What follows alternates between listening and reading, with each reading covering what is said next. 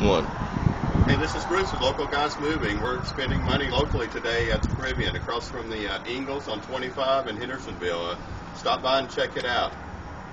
Everybody stay local. 70% of your money you spend local stays local. Yeah.